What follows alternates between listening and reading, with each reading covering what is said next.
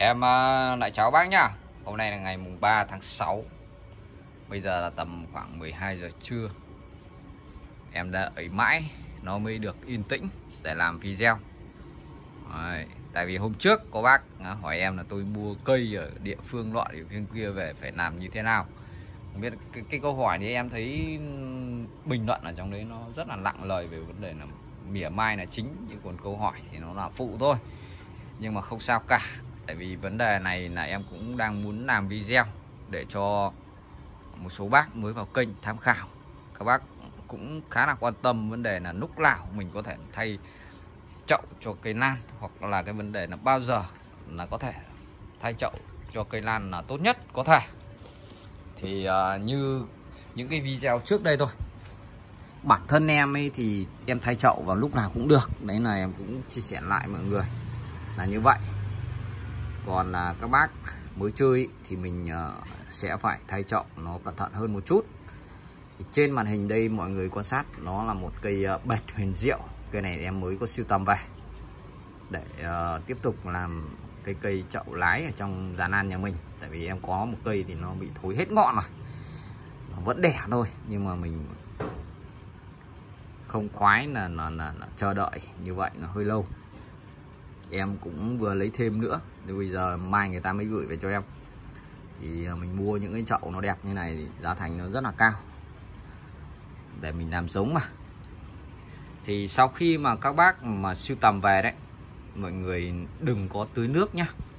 Cây này em đã 3 ngày không tưới nước. Từ lúc về nhà em là 3 ngày. Ở nhà người ta chắc chắn là sẽ phải cắt nước một hai ngày sau đó mới gửi cho em. Thì nó cộng vào nó cũng phải rơi tầm khoảng 5 ngày thôi. Em không có tưới nước tại sao lại như vậy? Mình muốn là cái cây này nó về nó ổn định ở trong gian nan cho mình sau đó mình hãng làm cái gì mình làm thì khi các bác siêu tầm về thì các bác để một hoặc hai ngày mình không tưới nước. Như để như em là nó hơi bị quá đà. Hơi quá đà nhé tại vì em muốn làm video từ hôm trước rồi nhưng mà nó ồn quá bên cạnh trường học nó người ta đang xây. Thế nên là mình cằn mãi mới được thời gian. Thì à, lúc mà cái mầm gốc nó ra dễ là thời gian vàng để cho các bác có thể là thay trọng. Đấy, cho cây nan hoặc là tách mầm tách biết các thứ đấy. Quan điểm của các bác ngày xưa là cứ vào mùa rét lúc mà cây nó nghỉ rồi lúc đấy là mình thay chậu nhưng mà các bác cứ để ý lúc đấy các bác thay chậu sang năm cây của các bác hầu như là nó nó trột khá là nhiều. Nên là cứ lúc nào cái mầm gốc của các bác bắt đầu nhú rễ là các bác có thể thay chậu. Trong cái quãng thời gian đấy, mình có thể là cắt toàn bộ những cái rễ cây mẹ đi để làm mới hoàn toàn cho cái chậu lan nhà mình. Nhưng với cái trường hợp của cái chậu lan này của em thì em sẽ không cắt bộ rễ đi, tại vì nó mới chỉ là năm thứ hai thôi. Mình sẽ xử lý và giữ lại bộ rễ để cho cái mầm gốc này nó phát triển tốt nhất.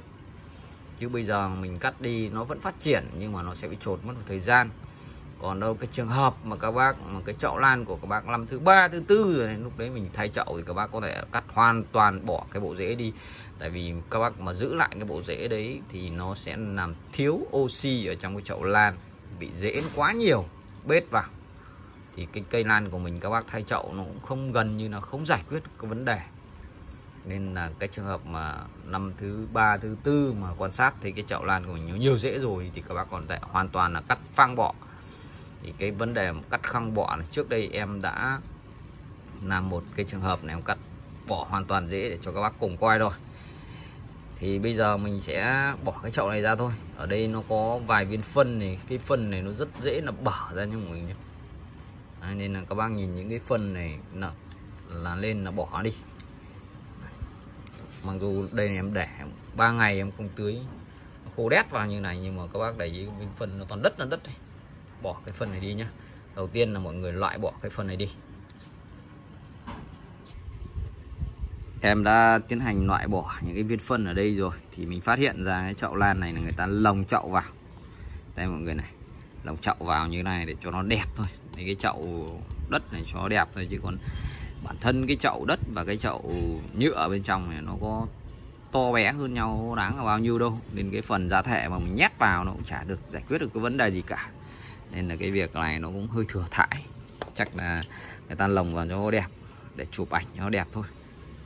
Nhưng mình à, sẽ bỏ ra và quan sát để mình đưa ra cái lựa chọn mình làm cách gì. Đấy.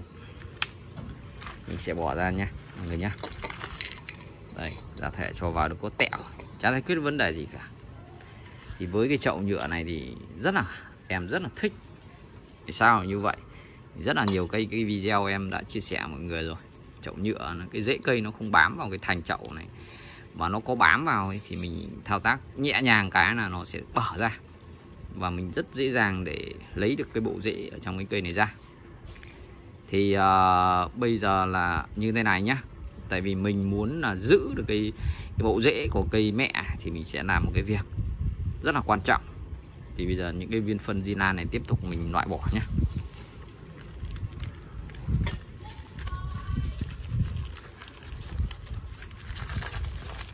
Đấy, chậu nhựa mọi người thấy chưa?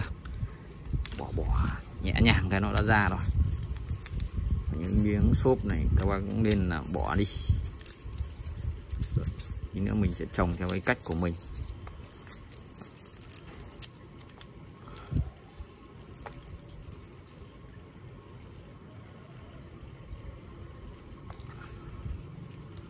có thể cũng, cũng khá là thoáng khá là sạch sẽ đây mọi người. Nhưng mà bây giờ vấn đề một vấn đề quan trọng là em sẽ để đây đã. Mời các bác tiếp tục theo dõi xem mình sẽ làm như thế nào nhé. Đây. Đây là nước vôi mọi người nhé. Em sẽ gạn một ít nước vôi trong này và mang lên trên kia. Sau khi mang lên trên kia thì mình sẽ làm việc nói chuyện với nhau về cái ờ, tại sao lại dùng cái nước vôi nhé mà trong những cái video khác là em lại dùng nha đam ở B1 mà video này ông lại mang dùng nước vôi ông vô lý. Ông hơi nhí nhố thôi. Nhiều bác sẽ như thế. Mà tất cả nó đều có lý do. Qua phải đi kiếm mãi được tí vôi đi mọi người nước vôi trong. Em sẽ gạn vào đây rồi mình tí mình cho thêm vào để chiều tưới cho những cái giàn nan tưới luôn cho giàn lan nhà mình. Nó diệt lấm khuẩn luôn. Chỗ này của em đang có hai cân vôi. Hai cân vôi thì em hòa với cái thùng 18 lít nước này. Tí mình cho tiếp nước nữa vào. Mình làm. Rồi nó đục rồi. Thế thôi. Cây nan các bác vừa dỡ ra đấy. Cho vào đây ngâm này. các bác ngâm cho em khoảng uh, nửa tiếng. Nửa tiếng nhé tại sao mình lại ngâm cái này mà không ngâm với cái ờ, gửi nha đam với cái V1 thì em ờ, trả lời mọi người nhé tại vì cái cây nan này này, là em có, mới có sưu tầm về, mà mình không biết là cái giá thể người ta sạch hay bẩn. Để mà làm cái giá thể còn ờ, giữ lại ở đây này, nó sạch sẽ thì mình nên là cho mà mình ngâm với cái nước vôi này, để cho nó xử lý vi khuẩn ở trong cái chậu lan đi. Sau đó là mình sẽ trồng lại, thì cái cây lan của mình sẽ phát triển tốt. Còn cái trường hợp mà khi mà em ngâm nha đam B1 là cái cây lan nó trong vườn nhà mình, và mình đảm bảo là cái cây lan này của mình là nó có cái giá thể nó sạch sẽ rồi thì mình ngâm nha đam 11 trường hợp ngâm nha đan 11 thì cây nó phục hồi sẽ nhanh hơn cái trường hợp mình ngâm nước vôi này. Nhưng mà mình vẫn phải chấp nhận với trường hợp này vẫn phải chấp nhận là ngâm chậu lan vào với cái nước vôi này để cho nó xử lý nấm khuẩn đi. Đấy, chứ không mà sau khi mà cái bộ rễ nó ra được một đoạn xong nó bị nấm khuẩn vi khuẩn nó xâm hại sẽ rất là hại cho cái cây.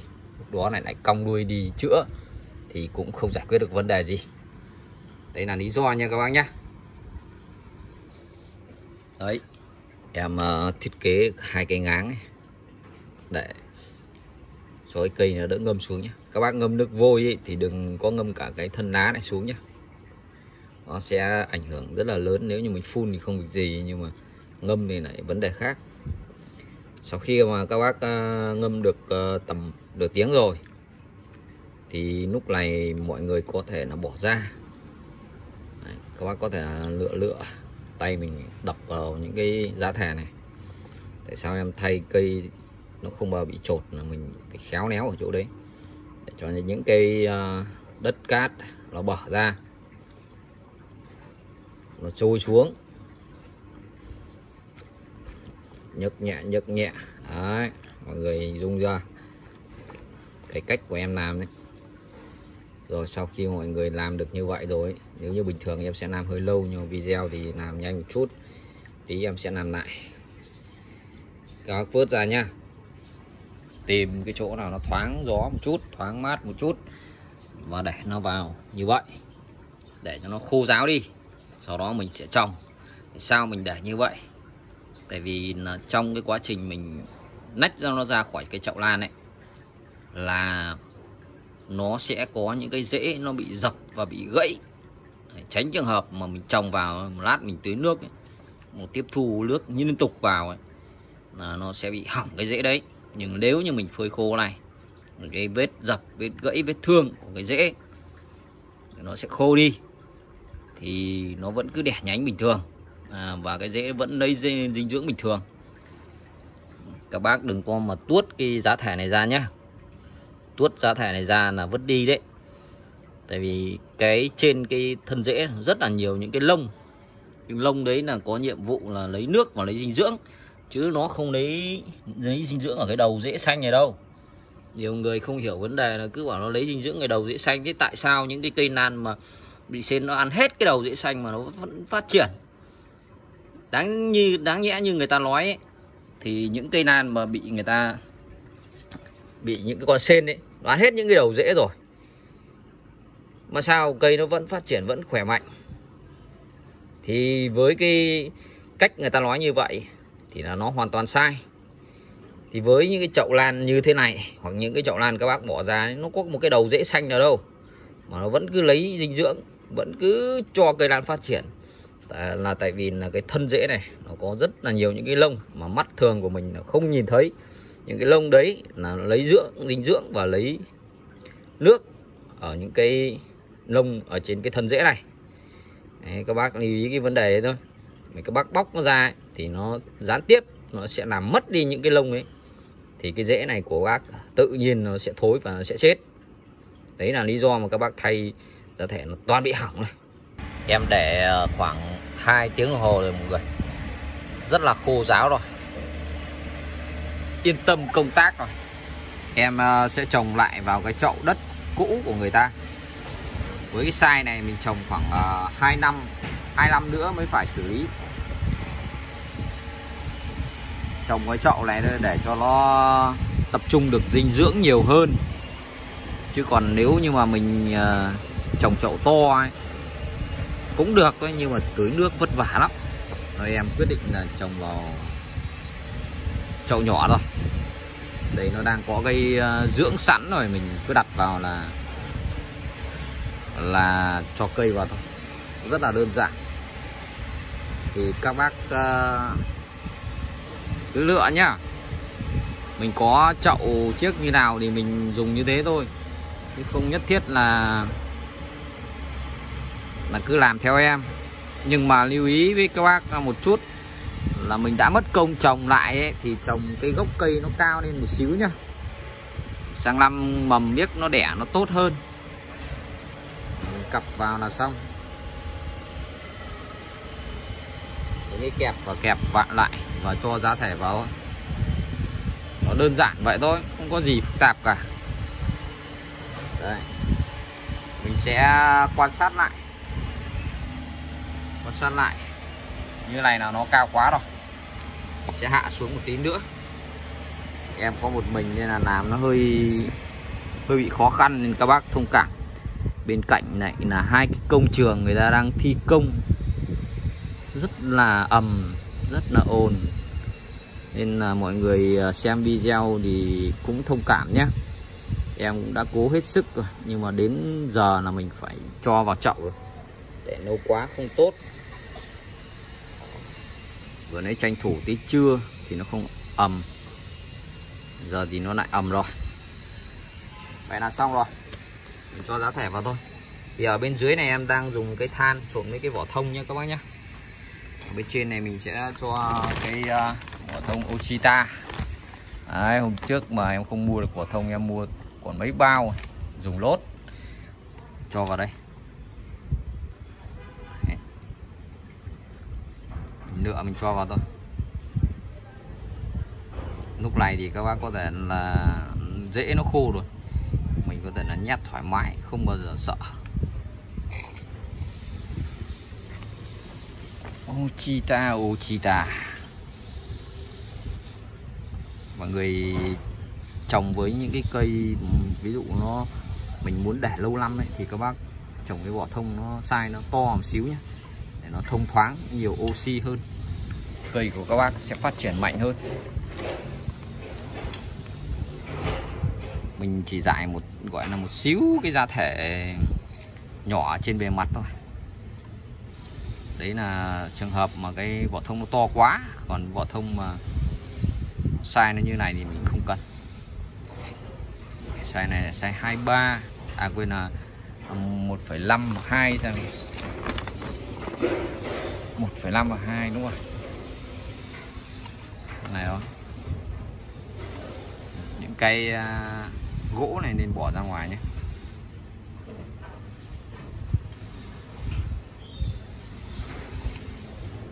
Đây là toàn bộ cái quá trình em thay cái chậu lan. Sau khi thay như này rồi, mọi người treo ra giàn, chăm sóc bình thường. Không phải để vào chỗ dâm mát, dâm niếc gì cả. Tại vì cái mầm gốc nó đang ra rễ nó vẫn còn giữ được cái cây mẹ nên là không không quan trọng đâu. Không sợ đâu. Đấy. bổ vào một tí. Thế là xong rồi. Xong rồi mọi người. Một tay làm một tay cầm cái điện thoại nên nó hơi bị lung túng. Hơi bị lung túng mọi người Đó. thế thôi. Thế này là xong sau khi mà làm ờ, trồng xong rồi mọi người treo lên và chăm sóc như những cây lan bình thường ở trong gian lan nhà mình thôi. Không cần phải cắt nước, không cần phải làm cái gì hết. À quên là không cần phải để vào chỗ dâm mát, độ ẩm miếc gì cả. Cứ treo lên. Vì cái rễ này nó đang ra. Còn cây mẹ này, còn bộ rễ này là nó phát triển luôn. Không phải chờ đợi gì cả. Em là sĩ hải phòng nhá. Chúc cô chú anh chị có buổi tối vui vẻ. Hẹn mọi người cái video sau. Nhớ cho em xin một cái like nhá.